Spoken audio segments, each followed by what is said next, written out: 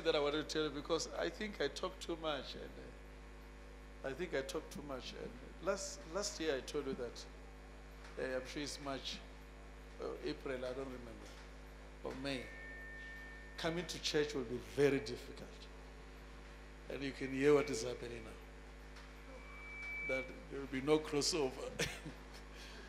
there will be no crossover now. I'm sure you're hearing that. So you can hear coming to church will be very difficult. Number two, the moment you hear this man is a prophet, you will run away. I've been telling you that. The moment you just say, this man is a prophet, you just say, ah, you want my money, you run away. It's coming. It's really coming. You are going to doubt the service of God. You people here, you are going to doubt the service of God because of others who have fallen. Because we have not, we, we, we didn't have a discerning spirit. We didn't, we didn't have discerning spirit. We thought everybody is a pastor. Now we, we will fight the whole pastors. The time is coming, you, you people here. Staying home to you will be better than not coming to church. It's coming. And uh, you know, oh, this is just introduction. This is coming. I was telling people that uh, that people are not afraid of rapture. I think she was there. I said, after rapture, what will happen here? You have to die, say, I love Jesus. There will be locusts. I, I, was, I was telling you, I said there will be locusts. I said, those locusts, it's not small locust. It's something like this, like a lion. And they'll be able to fly. I said, you see what. Right now, people are talking about what is coming. We must be always ready. If God can take us away, we are safe. I don't know if you're hearing me. Because what will happen after rapture is not good. What will happen after you, you have to say, this, this thing must kill me now.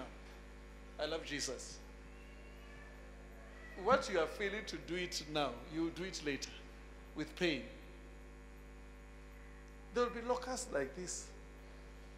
Those locusts here will be having hairs, hairs like of ladies, will be having a face like of a person. Like this, like a lion. Everybody will be running. Uh, you know, that thing al- alone, if it enters here, all of you here, you'll be there. You'll be there, all of you. You'll be running. Frightening things you have never seen will come. I'm just trying to tell you that we are playing church. Hey, my church is big. Hey, my church is small. Hey, I'm this church. This is the time now of dealing with your flesh. Because you are going to lose this flesh. This flesh. You tell yourself, no, it's better I die. It comes and kills you. Now you go to heaven. But now, if you are not afraid, if you're not afraid of death now, and you are dealing with your flesh, you you will overcome. You will be raptured. But if you are trying to save your life, you will lose it. Because those things will come and chase everybody. It's coming. Like this. Think about something like a lion like this. Lion is like this. And having a face of a person. Like you tell you, M4, come here. I want to eat you. Come here. And when you run here, it will be flying with, with claws like this. Go and read the book of Revelation. oh my God. How many of you have read the book of Revelation? You have read it? Let me ask, did you read about it?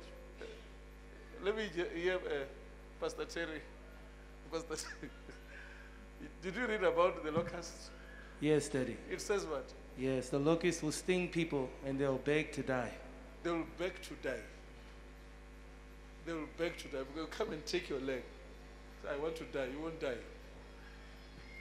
I wish to die now. Let's, let's be ready for Christ. We must not be frightened by anything. Your boyfriend will be running away, even yourself. You leave grocery in the fridge.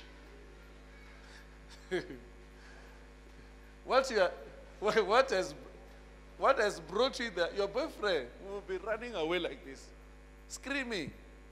I was in the US, I saw a vision whereby, uh, you know, something like a shark, you know, shark opening up the mouth, but it could swallow the whole, the whole America with gulf of fire. And I had, this is what will happen in the end. No one will be able to run because you cannot run from here and go to, to Zimbabwe by running. Have you ever done that? Eh? Can you run from here to, to Kempton Park? Have you ever, yourself, you gain weight? I mean, so we need to have fear of God now. So we must be always ready. Amen. Tell about, you, we must be always ready. Prayer must be your life. Can we just change now? Prayer becomes our life, the word of God. We stay. Sleeping when it comes here, you say, hey, wait, I want to I want to pray. I want to pray. We get out of fashion. We get out of fashion. We enter the, the old life of apostles who to love one another, we pray together, we become Christians. I mean, look what happened in our church today. If you believe, say amen. You are believing what? That Jesus will come, isn't it? So we must be ready for him. Let's be ready for him.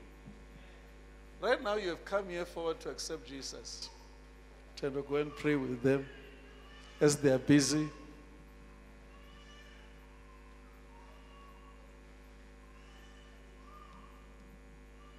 As they are busy, pray with them now.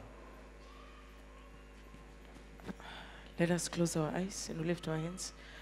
Let us say, Heavenly Father, Heavenly Father, I come to you today. I come to you today. Lord, I am a sinner. Lord, I am a sinner. Wash me with the precious blood of Jesus. Wash me with your precious blood of Jesus. Wash me from all my evil thoughts. Wash me from all my evil thoughts. Help me, Father, from today. Me, Father, from today. Let me live uh, according to your spirit. Let me live according to your spirit. Let my mind be aligned with your word. Let my mind be aligned with your word. Let my mind be set on the things that are above. Let my mind be set with the things about. I pray, Lord, I pray, Lord, today that your Holy Spirit today that your Holy Spirit let it lead me let it lead me and let it guide me let it guide me. in every path that I take. in every path that I take. In Jesus' name, In Jesus' name. amen. Amen. Congratulations. Go and sit down. Uh, You know, I- I don't know what will happen. Remember that all of us would say chocolate is bread. And uh, all these things here, they are confusing us now. If you don't have them, you can't pray. Now, all this grocery, whatever, they, I mean, this Capitec, ABSA or First National Bank, they are confusing us the, this issue of uh, wraparound, the dress you get somewhere, is really confusing you. The shoes that makes you to walk like this, it's confusing you now. You're, you're confused. When you, when you want to walk here, everybody must see you now. And then you forget that you are not carrying steel. This thing that you are carrying also will die one day. You are so much confused. Right now, when you don't get money, you are confused. If God tells you that your currency is not money's faith, what are you going to say? Yourself, you'll be searching for rent. rent. What about faith now? What about your currency, which is faith? In fact, I feel like I can reveal this life for you. I, I, I wanted to reveal this life we are living, this world we are in that when you are 16, when you are 17, when you are 18, you are always dreaming. Now, when you are, start to be 30, you realize my dreams, if they were there, were right. When you are 40, you realize I must accept because I cannot change this. You go to 50 now, you just say, hey, now I must be responsible now. You start to think about death will come one day. And now you realize that this life does not satisfy you. This life, you are always dreaming what you cannot get. Even when you get more, you feel you need more. So this is the life we are living. And now, if you are not wise enough, you look at these ones who don't have, as smaller than you. Stand up. Let me greet you. How are you? Look, look at this man when I greet this one. You see, these people here, they are not the same. You see, let me greet this one. Can you see? You see how they greet me? Let me greet you. Can you see how I greet them? You see how this one greets me? This one greets me. So they greet me according to their own standard. This one, when he greets me, he say, "No, this is a man of God." This one says, "Oh, he's another guy." This one. So that's how you people are. That's how you are. The way you view other people and interpret them. That's how you are. And that's how you will be judged. Because the judgment of this one will, this man, when I greet him like this, is also teaching me to greet others the same. So, what more can I say? Let me stop there. If you have a testimony, you can run for.